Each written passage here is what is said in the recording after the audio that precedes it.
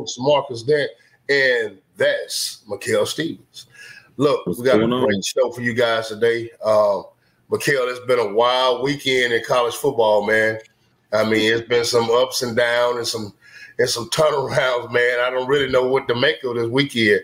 Um, but guys, before we go too too too far into the show, look, we really appreciate um, all the the um, inboxes that we're getting. Hit that like button, subscribe. It'll help us out a lot. Mikael, what's going on, man? Man, you tell me, man. Uh, my Hornets went down at home coming against those Rattlers, you know. So I'm gonna keep a little quiet, but you know, a lot of my old classmates had a good time down there. Y'all did y'all thing for y'all homecoming too at the corn. Yeah, man, it was homecoming in the SWAC, and it was homecoming down at Alcorn, man. I went down for you know a little while. I don't get a chance to go down there much, man, but I did, and uh, enjoyed myself, man. Seeing some of my old friends and everything, and you know, it was just you know, homecoming is homecoming, man. You get a chance to see some people you hadn't seen in a while. You get a chance to you know kind of reconnect with some guys, and you know, my, my teammate Tracy Cook is now the the president, man. It made me feel real good, man. The the way the campus looked and everything was just really, really, really on point. And we got the W, so that's all that matters. Oh yeah, oh yeah. That's all that matters. It's always a good thing. But when I was leaving, you know, I'm checking my phone, and uh, I'm looking at. I seen this this score. I was like, man, this can't be real. Let me look back at my phone. Maybe my phone ain't loading right or whatever. And I'm like, Vanderbilt, Alabama three. What the world? I said, man, this can't be. And you know how it is. It's been like this for years. Somebody jump up on them, they come back. But you know what? There's there's one thing I can tell everybody, and it come. This is what this show is about. This elephant in the room. The elephant in the room is Bama. And what happened to Bama this weekend is called a transfer portal. You see what I'm saying? It's called a transfer mm-hmm. portal. The transfer portal is what happened to Alabama this weekend. You take Pavia, who came from what New Mexico State, came from New. Mexico State. The coordinator came over as an analyst. They brought some more kids over, and guess what? You just can't have a a, a basic game plan for any team anymore because you really don't know what they got. Man, everything has changed. I'm, I'm seeing a lot of parity. And right. you know, that's from the money. It, it, it's, you know, you can get any player you want. It's free agency on, on the college level. So expect more upsets. Oh, yeah, I, I really do, man. You see, Tennessee went down. Um, it, it's, hey, man, I'm telling you, it's, this is what I'm trying to tell the parents what you saw this weekend with Alabama getting beat by Vanderbilt is what's happening in college football. So your kid got to get out there as early as he can when it comes to camps, when it comes to conditioning, when it comes to everything that you can do to get your kid the edge. You got to do it because guess what? Mm-hmm. If you that coach need to fall in love with your kid in the eighth grade, ASAP. He need to fall in love with your kid in the eighth grade, and he needs to graduate early because if they don't, there's nobody gonna go to bat for him in that boardroom when they're looking at a portal kid or they're looking at a high school kid. So exactly, the earlier yeah. you get your kid, you know, um, accoladed to meeting coaches, meeting people, and building relationships, that's what it's about right now. You got they got to fall in love with your child, and, and that's important because the earlier the better. It just you know kids are transitioning, going through puberty in middle school. These camps are necessary just to build the self esteem to go out there and compete, to steal reps, to get in front of the line, to make them themselves noticed. So they go through all that middle school. When they when they get to high school, they ready for the colleges and they ready for those camps to show their talents. You think about this: Georgia State beat Vanderbilt. I think it might have been overtime. I know it was a close game, but if you go mm-hmm. look at the kids that are on these teams, man, everybody is doing a little different. Let's just take Mississippi. Let's just take what's happening in Mississippi. So I think it maybe two years ago. It might have been three, but I'm I'm almost sure it was two years ago. They went from eight out of state kids to 15 out of state kids. So that's seven more scholarships that in-state kids are not going to get in Mississippi. That's about a, mm-hmm. that's about hundred kids with all the JUCOs we got. That's about hundred kids going to lose a scholarship because the game is changing. Okay, now you add the portal in. You know how many kids in Mississippi, well, Alabama, whatever, whatever, you know, whatever state that's not going to get that chance to go play football, but mainly Mississippi, because we talk about Mississippi, we're here in Mississippi. But mainly, we're losing a hundred kids because they can go out and get more out of state kids right now. And you got the transfer portal. So if you're in Mississippi, it's it's at least, I want to say 300, two to 300 scholarship that's not going to be given out that was given out three years ago. Right.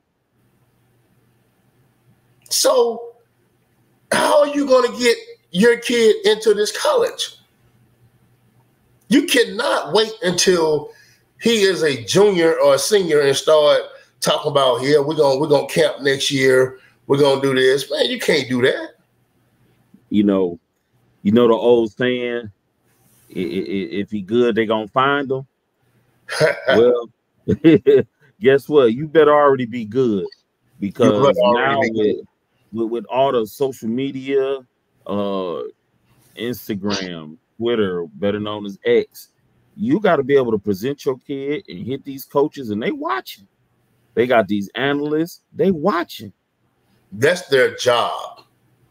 That's their job to find kids from the eighth grade to the 12th grade. That's their job. And if you're waiting till the 11th and 12th grade, nobody is going to go into a room and battle for your kid over a portal kid.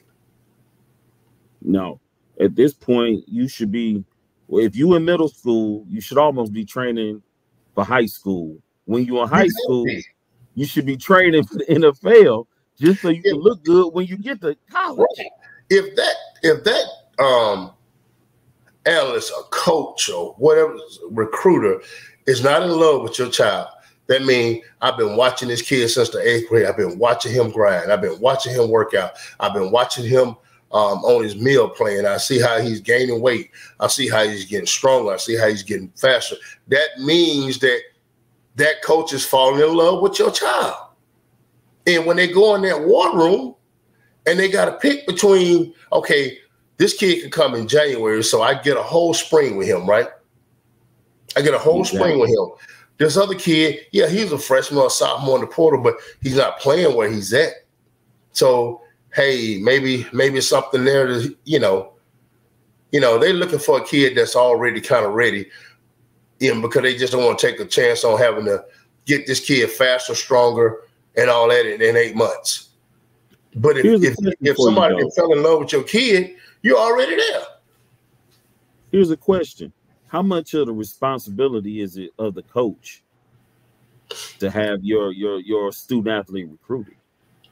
Man, I don't think the burden lies on them. I think the burden lies solely on the parent. I think the burden lies on the parent um, for the simple fact that that coach is getting paid to coach at that school. He is not getting paid to be a recruiter for your child. And I, I, am one of the ones who, until I got into coaching, I did not realize how much stuff that how much extra stuff coach has to do, and plus he got his family. He got honeydews to do on the weekend because he gone all week.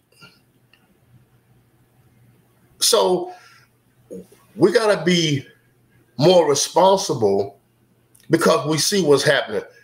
You know, the Tennessee Arkansas thing, and eh, you know that's that's Arkansas they got a few guys, but they got they got Petrino in there as a, as a coordinator, man, and you know he's That's he's a tough he's, place to win too. Huh? Arkansas is a tough place to go win. No, it is. Yeah, definitely, definitely. It's it's, it's a tough place to go win. But you know, I'm just sitting here looking at what happened Saturday was just like an eye opener. Then I got to thinking about um, the scholarship that we're losing with the with the state opening up for more out of staters to come in and play the JUCO ball. And then you got the portal. Man, we're losing. You're gonna. There's a lot of kids in Mississippi will not get that opportunity. They got an opportunity three years ago. And I'm trying to tell parents, uncles, whoever, you gotta create a system where your kid is being seen, and these coaches got to fall in love with your with your with your athlete. Because if they no, don't, they're not going to have nobody to battle for them in that room that day. They, they they say, okay, you know, we got we got three receivers, we got two high school guys, we got two um, coming out the portal. Who do we take? Now I've seen on the high school level in some schools where there are recruiting coordinators on the football staff. Yes, it, it's it's yes. not I, a common practice, but it exists. And with football changing in our face in real time, some programs, especially on the seven eight and six eight level, should probably incorporate some type of recruiting recruiter to make these contacts and build these relationships and, and, and, be used as a going between to help guide some of these student athletes and these coaches who may want to get in front of these kids and recruit them. I, just, I, I know of two schools that have the recruiting coordinator deal. And I think that's kind of done through a booster club kind of deal. I know at those two schools that it is. So I don't know if the school board would administrate say, okay, look, we want to help our kids get out. We're going to put money toward having a coordinator for that. I don't know if the school board would do that. Now, I know they will in other states because they got bigger budgets. You know, the budgets are not really big here, although we got some 7A schools. Those schools would not be 7A if they was in Georgia. True. So, you know, I think that's a budget issue I think you know to do that right, um, you definitely have you have to have somebody who's been in that field. Because you don't have anybody to be in the field, it really not going to do you any good to have somebody out there just sending emails. If you don't have anybody that's connected and know the coaches, it's not going to do you any good. So what I'm saying is, with the point that you're making, I definitely agree with it is something that's very much needed. But I think the sole responsibility is on the parents. And we want to let you understand how these things are changing. You know, things are changing for your athlete right now in Mississippi, in Alabama. Alabama don't even have junior college. So they getting hit really hard. I've seen a lot of talent end up in JUCO out of Mississippi. I'm talking yes. about D1 bona fide talent. Yeah, but but he, here's the thing: you take a you take you, you take an Alabama State, you take a Louisiana Monroe, and just say they get a kid that's all whatever that conference is. That as a freshman, he will not be there the next year. He is going to be gone because somebody's going to grab their kid. You got to, if you coming out of high school, you got to make sure that your child is can compete with these kids that they're having to go get from these other places. That's the main focal point. So what do you do? What camps do you go to? Hey, you start off in the in the sixth and seventh grade, finding a camp that works on your skill set your skill set only. You need to find those camps ASAP. They're out there. You need to, you need, we talked about this the other day on the show. You talking about a trainer, you might not can afford a trainer, but guess what? There's plenty of trainers on YouTube. I seen one lady, mm-hmm. she was out there with her son and they were getting it in. Oh yeah, I saw that. You know, I saw that. So you, you there's no excuse. No. Because our trainer was outside from sun up to sundown.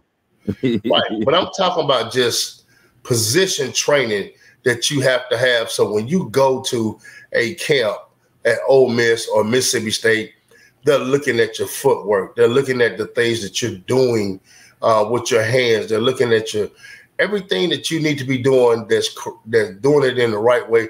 They're looking at that because they want to see your, that's part, right. It's IQ, but it's part of your football IQ too. Absolutely, it's a part of your football IQ. If that kid gets up there and he sees this kid is in a in a stance and he's leaning, he looking at his hips, well, he knows how he knows what he got to do. I mean, those type things right there are the things that kids need to learn early. And I'm not saying that your high school coach cannot give you this but it's it's it's critical. They don't have the time to do everything that you need this day and time. You can't get everything from a high school coach no more. Oh no. And even on the training part, training one or two times a week, that's not enough. You may need to go three times a week, six times a week. It gets really deep depending on your position, depending on your physical conditioning, you may want to go in the morning before school, uh, in the evening after school, and you may want to do this three, four times a day to unlock your strength and your skill set. Because let's let's just face it, if you want to play SEC ball or even something as far as Big Ten, you yeah. got to be ready to play. You got to be ready. That is the closest thing to semi-pro you're gonna get. No, it is. It has turned into the league definitely has done that with with money and the way things is going. And a lot of these colleges have general managers now, so it's tur- it's turned into. Um, it's always been a business in the last ten years, but now it's definitely a business. It's it's pretty much kids, different in the NFL. And the kids trying to get out of JUCO, that's like gladiator sport. Go to a game on Thursday night. Oh man, it's, I know talent there. They, and, and, the thing about that, it used to be a time when Alabama, uh, Mississippi State, you had Montez Sweat come out of out of Co-Lin, and you had mean, you had all these great guys come out of JUCO. You had Pernell McPhee come out of ICC. You had Darius Slay out of ICC. Those kids right now, the JUCOs are not getting those kids because those kids can go somewhere else now and play and get a little bit of money. And then when they when they ball out wherever they at, they they can just step right up. So even at the mid major. So what now? The mid major level, the mid major level, you could go to a mid major and Correct. ball out and get paid and go to Correct. the SEC. Correct. And so that's why that's why that's why here on the insight, man, it's real, real important for these parents to get this message. Parents, look, I'm telling you, you need to do whatever it is to get that program, to get that coach to fall in love with your kid. Because if you don't, your chances are going to be slim and none unless your kid is a super athlete. If your kid is a three star player, you're going to struggle. You're going to struggle you're going to struggle getting him out.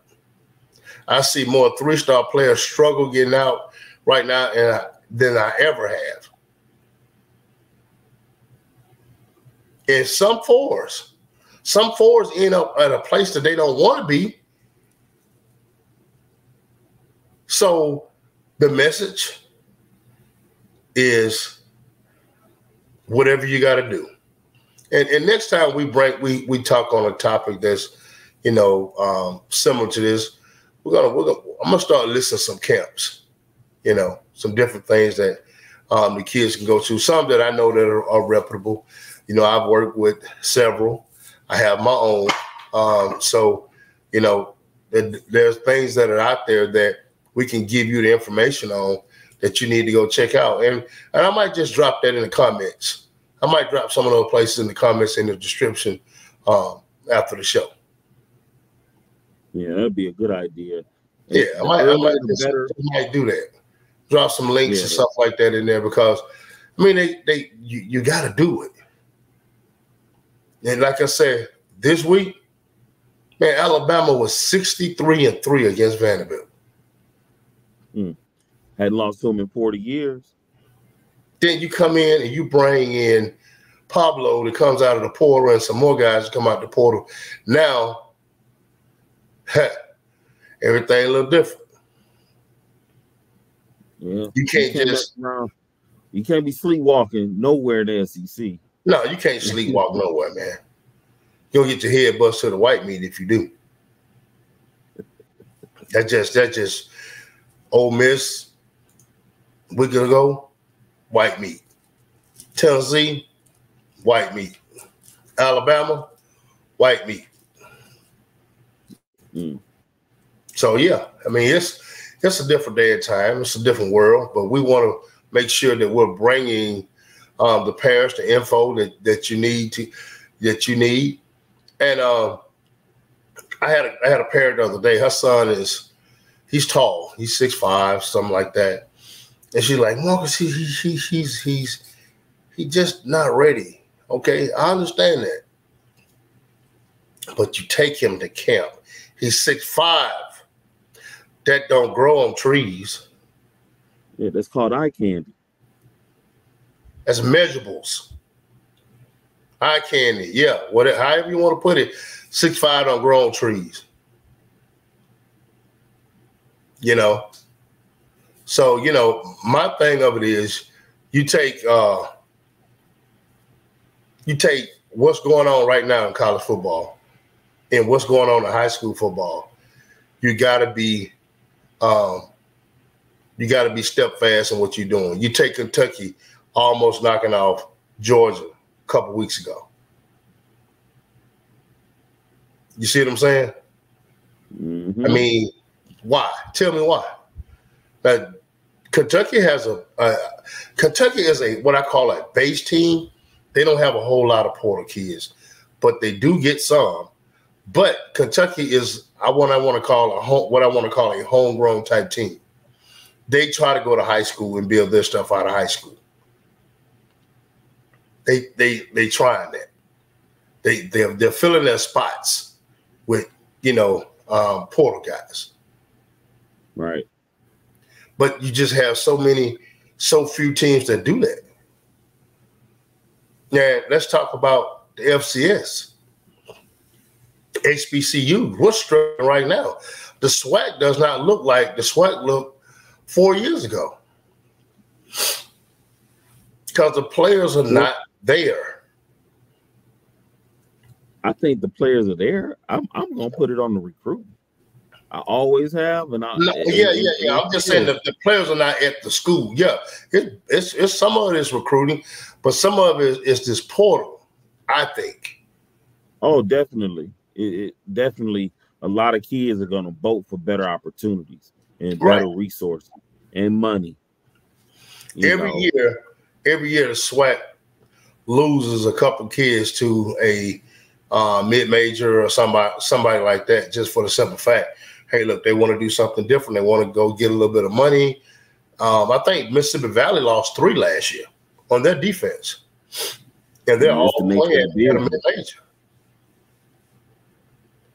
So, hey, you know, parents, you you got to get you got to get right because this thing is this thing is dead serious. So you know, like I say, we're gonna have to um, we'll have to do a little bit of, uh, more, um, and we're gonna go a little bit more in depth, you know, on this Markel, maybe next week or something. We're gonna try to put some up there so uh, get a parent some literature that they can go, you know, kind of look. I'm gonna do a little bit in, in the description and and and, and uh, down in the comments. I'm, I'm gonna leave some for them, but I really want them to understand what they're up against right now. And you and you know you you have a kid that's your kid is a sophomore. You know, so you know exactly where I'm coming from. Man, it's it's it's a journey to say the least. Oh yeah, definitely a I journey. Trade it in for nothing. I wouldn't trade it in for nothing, but it but it's definitely a journey. and and you know I've been blessed where I've I've been raised in a family of coaches, and I'm a former athlete, so I understood early on, you know, after I'm done with them, somebody else got to get them because, you know, my expectations was high, but I had enough sense and wherewithal to say, hey, can you help me out? I noticed you train, and you know, got to going and training and meeting people and networking. Then that's how you and I hooked up. FBU. That's right. Which, that's right. You know, a lot of people didn't like FBU, especially here in Mississippi. And I thought FBU was a great platform, you know, four or five years ago to get kids notoriety. hey, we, play, like we played for a national championship. Hey, some of them kids never forget. And if you go back to that national championship team, that whole roster is littered with four, five stars. stars. Right. And, I, and I tell people it may be one of the best teams ever put together, no matter the age. Right. Yeah. Once once you those know. guys sign, that's gonna be that's gonna be one heck of a roster. From yeah, um, when we go back to that, it's gonna be something serious. It is, man. You know? It is. It's definitely, you know, like I say, it's, it was a it was a journey, and you know, I, I, appreciate the parents and everybody, you know, that that went on that journey with us, man. But uh we're gonna get ready to get out of here, man. Like I said, Markel, hey, I appreciate you, man. Um, Anytime. Always, you know, like I said, guys, I'm gonna hit that like button for me and subscribe, and we'll see you next time. Peace. Peace.